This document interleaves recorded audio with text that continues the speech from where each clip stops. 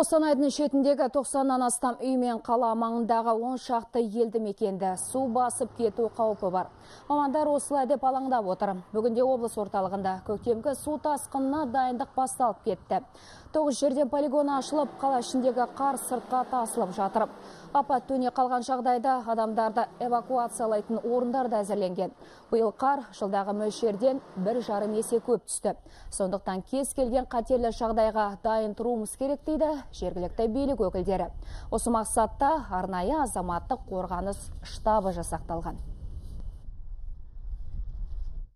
штабтың құрамында 105-104-ке тарта адам және 38 техника жұмылдырылады сондай ақ инерттік материалдарды дайындалып қойды төрт мыңнан аста асам қапталған құм деген сияқты.